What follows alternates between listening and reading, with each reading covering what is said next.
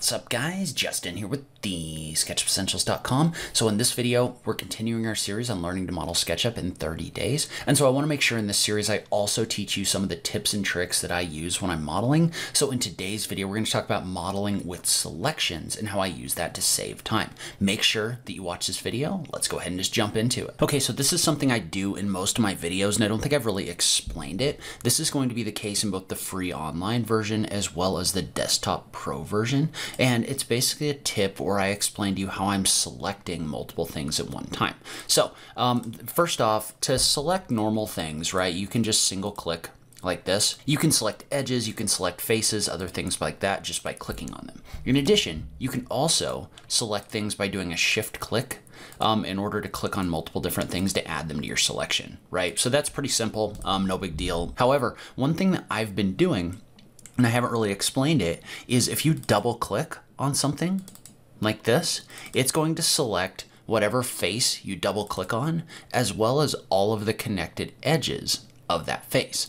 And so there's a lot of interesting things you can do with this, but it's also a big time saver. So for example, let's say I wanted to pick up all of this geometry right here. I could either move my camera around and try to drag a box around it, or if I just want to pick up multiple different things, I can just do a shift double click in order to select the faces and all of the connected edges that are associated with those faces. Now, where this gets really helpful is let's say we have a circle like this one right? So I've got a circle in here, and let's say that the edge gets exploded or broken up into individual parts like this.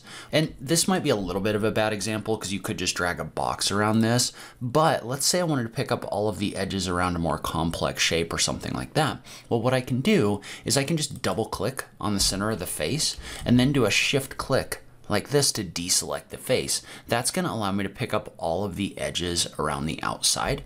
So anything that's connected to this face are going to get picked up like this. So another thing that you might not know is you can also triple click on something and it's going to pick up everything that's connected not only to the one face but to the object that you have that you've triple clicked on. So if I double click, right, I'm getting these individual faces in here. If I triple click, like this, it's going to pick up everything that's connected that isn't grouped um, associated with this object. So let's say, for example, that I had a box over here, right? So something like this. And let's group that real quick. So if I triple click over here, notice how it's not going to pick up the box because the box is a grouped object. So triple clicking is for selecting the raw geometry associated with an item like this, and it's gonna pick up everything that isn't grouped or that's inside of the group that you're in um, that's touching the face that you're triple clicking on. So practically speaking, there's a lot of interesting applications for this. One of those is let's say that we had a sheet like this. So let's say I wanted to make a perforated sheet. Well, right now, what I would have to do to do that is I would have to come in here and single click and select all of these faces in order to delete them out, right? So you could do that, but it's gonna take you a lot of time. However, what we can do instead is if I was to double click on this face, like this, remember that it's going to pick up the face and all of the associated edges, right? So this has basically selected everything when I double clicked except the faces of these circles right here. And so then what we can do is remember that if you hold the shift key on your keyboard and you drag a box, this is going to both add and remove things from a selection, right? So if I hold the shift key like this and drag across something, it's going to deselect what I had selected and it's going to select what I didn't have selected, right? Well, in this situation, what that means is that means you can double click on this face, then hold the shift key to do an inverse selection and drag a box across this whole thing. Well, what that's going to do is that's going to deselect all of the edges that we had in here as well as this big face and it's going to select all of these faces in here. Now if I tap the P key like this and I push pull this up, notice how I've been able to really quickly create this perforated sheet in here. Well, another thing we could do is let's say we created a sphere with the follow me tool, right? So what I'm gonna do is I'm gonna draw a circle with the C key.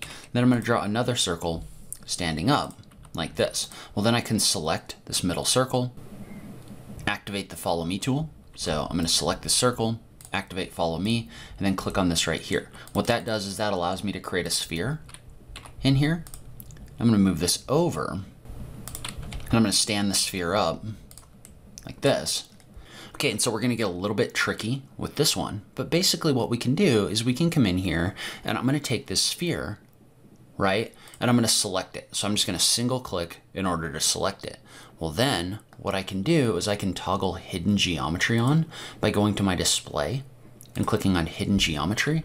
Well then I can do a shift and click and drag like this, and I can select all of those edges well, what I want to do is I want to unsmooth those edges. So I'm going to scroll down and I'm going to pick the option for smooth edges like this. Well, what that did is that came in here and that took those edges and took them from a like a softened edge to a non-softened edge. So now if I hold the shift key and I click and drag across here, that's going to deselect all of those edges and that's going to select the faces. Well, if I hit the delete key, what that's going to do is that's going to remove all of the faces but leave the edges in here. So you can use this to create things like wireframes inside of your models if you just want edges in here without faces. All right, so one other thing that's really important you understand is when you're trying to select things with the selection box, where you click and drag like this, the direction that you drag is going to make a big difference. So you may not have even paid attention to this, but notice if you drag from left to right, the box that you have in here is a solid box, right? It's just a solid line. But if you click and drag in the other direction from right to left, Notice how this is a different kind of selection box. What that means is that means that they do two different things. So first off, the left to right selection box will select anything that you have inside of the box. So notice how if I click and drag this across around this box, into the middle of this object right here, it's only going to select the things that are inside of the box completely. So in this case, right, when I select that corner, um, it's only going to pick up the stuff that's all the way inside of the box. So like none of these get picked up or anything like that. However, if you drag the other way, so let's say I was to click and drag from right to left over here, notice how this box is going to select anything that it touches. So in this situation, if I click and drag across this corner, notice how even though these edges aren't fully in the box and neither is the face, it's going to select this edge, this edge, and this face. Basically anything in the box and anything the box touches. If I click and drag this further, right, it's going to pick up more in here. So the further I drag, the more it's going to pick up. And again, notice how it's picking up these extra boxes around the outside because it's touching them.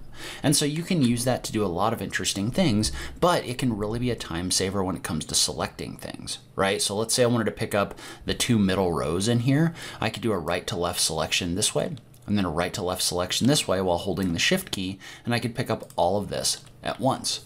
Well, now I could delete them out. If I wanted to, I could do whatever I wanted with them. But you can use this in order to really quickly pick up objects in here so you can also use that to limit your selection if you're trying to pick up something complex. And then finally, and this is something that's at least in the free online version, I'm not sure if this one's on the desktop version or not, there's also a lasso select. And so the lasso select works the same way, right? If you click and drag from left to right, it's going to give you a solid box or a solid lasso that you can use to drag around objects, right? So see how I can use this to drag around objects and anything inside of that lasso is going to get selected. And so it does have the right to left functionality, but it's a little bit twitchy because if you cross it back over, like this. Notice how it gets solid. So that one's a little bit weird to me um, in the way that that works. So usually if I'm using the lasso, I'm just going to completely pick up everything that I want inside of that selection. Um, you can use that left to right in here. Notice how it did do some of that, but it's just a little strange in the way that it works. So if I'm to use the lasso, I usually just drag it all the way around the things that I want, like this.